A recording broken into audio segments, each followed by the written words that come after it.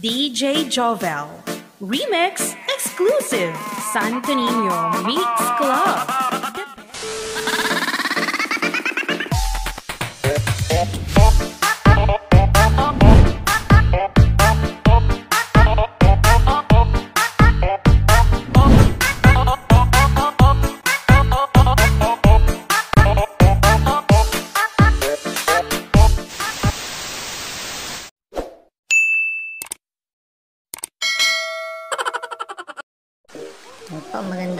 Ulit mga kasounds. Ngayon po, kung mapanood niyo po yung una kong video, ah, i-sin- sinamarize ko po doon yung aking mga devices, mga ginamit ko sa mga aking sounds, aking basic sound setup. Ngayon po, papakita ko sa inyo ang aking mga, mga ah, yung kung paano po yung connections ng bawat isa sa mga likod. Yan, opo. Ah, una-muna po ay ipapakita ko ang aking mga ginamit, mga connectors po sa mga speaker po ay ginagamit po ako ng yung ah, speak on para po mas ah, safe. Hindi po yan basta nabubunot at ah, yung locking ano rin po ng wire mag- maganda rin po yung lock ng wire. Kaya yan po ginagamit ng mga mga high powered speakers. Ah, mamaya po papakita ko rin yung iba kong connectors. Yun po.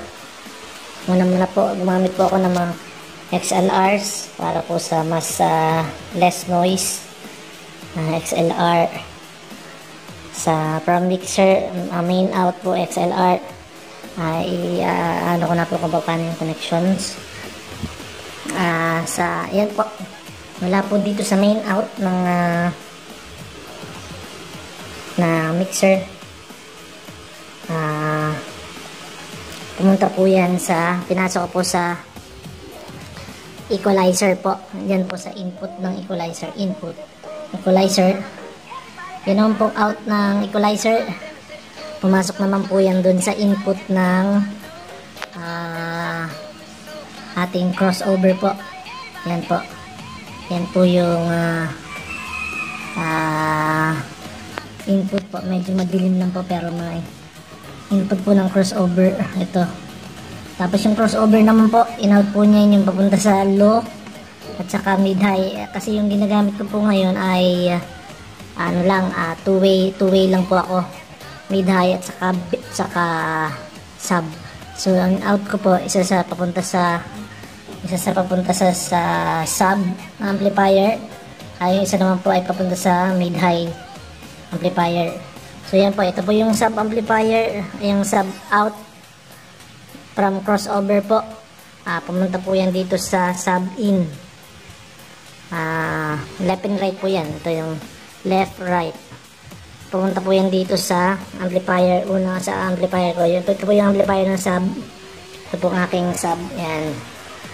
Ah, yung ADMC 3000 po. Tapos yun naman po aking high na out. Ah, pumunta naman po yan dito sa aking cab ah 1400 Kevlar RS RCA po ginamit niya kasi yung ah, amplifier po ay ah, walang ah, XLR in input. Ah, kaya po from nag, nag ah, DIY na lang po ako nag customize po ako ng aking connector. By the way nga po pala yung aking connector po na, na iba dito ay customize ko lang Ah, ako lang din po ang nag-assemble para sa sakto yung haba. Hindi mahaba hindi maikli. Yun po nga yan po yung from XLR po. Ah, kinonvert ko po to RCA in-input ko po sa isang input nung ah, cab. Ah 1400 tapos lahat po yung mga device na yan ah, nakasaksak po yan doon sa aking power enhancer. Ah yun Parang lima po ata yung nakasaksak. Anim, pati po yung microphone. Tapos yung, uh, yung nga po yung aking microphone po ito, nabili ko po ito sa Lazada. Medyo maganda po kasi may kulay. Ah, yung, ano ko po, yung aking ah, balance output po. Yung balance output. Hinati ko po yan yung mic 1, mic 2. Dual mic po kasi ito, dual wireless mic. So yung akin pong ah, mic 1, mic 2, hin- hinati ko po. At kinabit ko po sa isda dalawang input ng mixer para may control po magkaibang mic po. Kaya ko makontrol ng magkaiba. Minsan po kasi ay uh, mas malakas yung boses ng isang may hawak. So makokontrol mo siya dito ng maayos.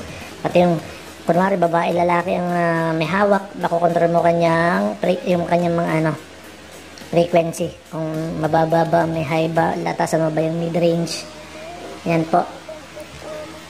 Yan po ito po yung aking power enhancer. Yan yung sabi ko nga po nakakabit lahat. Lahat po yung devices na yan mixers mic ah, dito po dito ko muna po isinaksak lahat para yung aking ikakabit sa ating power source. Saksakan isang saksak lang po isang ano lang isang ano sa, sa ating mga outlet po para hindi masyadong bulk yung saksakan yan po. At saka gusto ko na rin pong i uh, ano sa inyo yung mga konting functions po ng uh, mga devices na to. Ito nga po kapag nung sinabi ko ito po ay ang purpose lang po nito ay parang uh, nire-regulate lang niya yung power ni-enhance at uh, parang isa na rin po itong uh, purpose din po nito para ma organize mo yung, yung mga saksak sa likod. Uh, hindi ko pa po nabuksan loob dito. Siguro may kaunting uh, parts, electronic parts din po ito para ma-enhance yung power o, o may mga anti-surge, ganun. Uh, equalizer naman po, yan eh. Basta lahat mo ng uh, input, input, ano mo, dito, uh, nanggaling papasok po sa equalizer para siya po yung mag-titimpla uh, ng sounds. Yung setting po ng mga ito, ay depende na po yun sa magsiset ko anong gusto nyong uh, timpla o yung uh, ayon sa inyong pinakikinggan kung ano yung gusto nyo. Ma-bass ba, ma-treble ba? Ma mataas ba ang frequency? Or gusto mo ma mataas ang vocal o yung mga mid uh, frequencies? Ayan, bahala na po kayo dyan sa setting. Dito lang po sa crossover po. Ah, ito po yung naghahati ng frequency ng sub, mid at saka high Ah, katulad po ng mga sa ano sa mga equalizer, may, may gain po. Ito po yung para lumakas yung signal na ini-input niya. Meron din po ito. Ah, ito nga po yung left channel, right channel, left channel, right channel. Pareho lang po yan. Kaya, kapag po nung sa equalizer, meron din po siyang gain para ma-i boost niya yung signal kung mahina yung pumapasok na signal. Depende na lang po yung sa setting nyo. Tapos ito po, ito po yung isa sa mahalaga. Kung paano nyo hinahati ang low at saka mid-high. Ah, ito po yung sa low, sa low. Pag na, ito po setting ko kasi naka 2 lang kaya ito po hindi ko magana po itong mid mid uh, settings. Kaya po naka 0 lang yan. Ang ito lang po yung uh, ginagawa ginagawa ko sa low at sa saka sa mid-high. High output saka sa mid. Eh, ito po yung mahalaga, isa sa mahalaga yung kung paano nyo hinahati kung saan siya hanggang saan ang frequency ng base na ina pina, pinapa-apply nyo sa kanya. So sa akin po parang siguro nasa mga 100 po or mga 90 90 Hz po.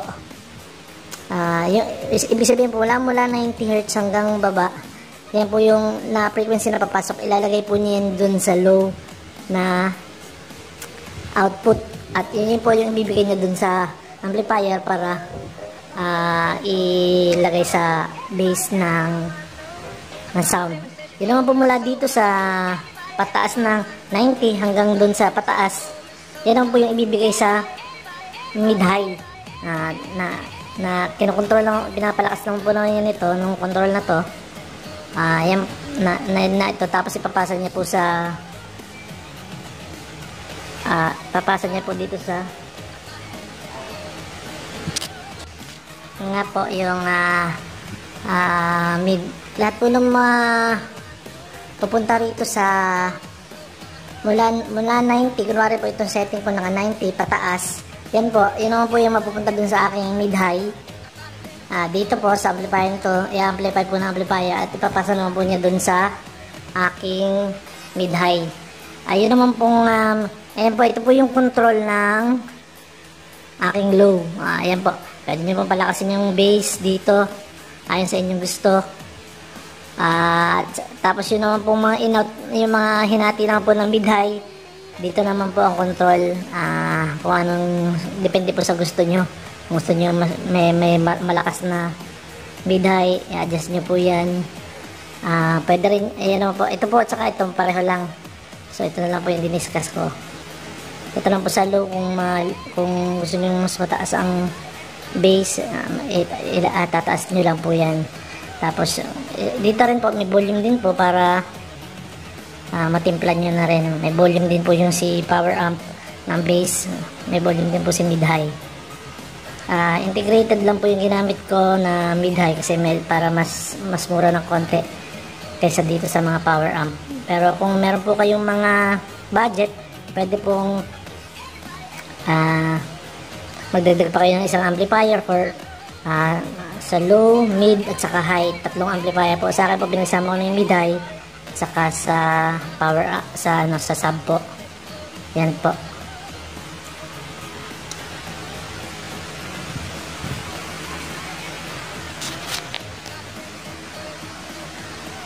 Yan po yung aking basic ah, setup. At uh, eh, papakita ko na rin po sa ginagamit kong mga connectors. Yung aking pong ah, pang ah, ginagamit na pang ano, na pang speaker po ay Royal Cord po. Ga- ano po ito branded by uh, Pep Dodge. Pep Dodge. Ano po ito? 14 by 2. Ah, dalawang linya po nasa loob. ah, size 14 po. Ah, mas malaki po siguro, mas maganda. Pero yung 14 po is appropriate na yan po para sa aking mga speaker na hindi naman po ganun ka taas ang wattage. Gumamit din po ako ng Speakon. Ah, T3, T3 brand po ito.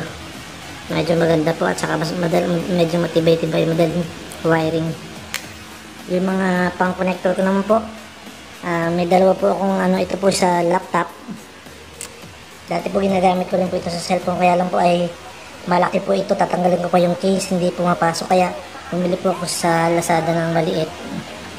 Ayan, kung pag mayroon po kayong ano, bumili po kayong mas maliit para minsan po may case na makapal, hindi po kumakatanggalin pa nyo yung case para ma ah tapos yan po ay originally ay RCA po ang ginamit.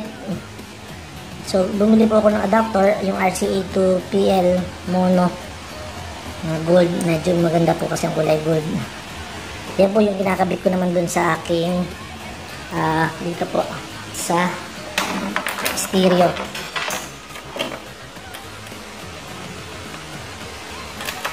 Ayan po, stereo. Na kinokontrol naman po yan dito. At yung mga frequency po dito. Ayan po, para meron pong pang laptop, may pang cellphone. Ito nga po pala mixer na to, meron din po itong Bluetooth at saka USB. Kaya pwede rin po na kahit wala naka-device na naka, ano, naka o kaya walang connector, naka-Bluetooth lang cellphone. Pag pambahay-bahay lang, pwede po. Hmm.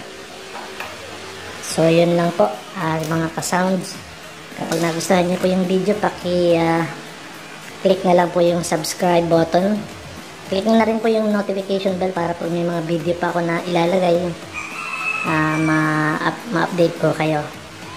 Uh, paki-like and share na rin po para dun sa iba po na gusto rin malaman yung ganung setup ay ma-inform din po sila. Maraming salamat. DJ Thank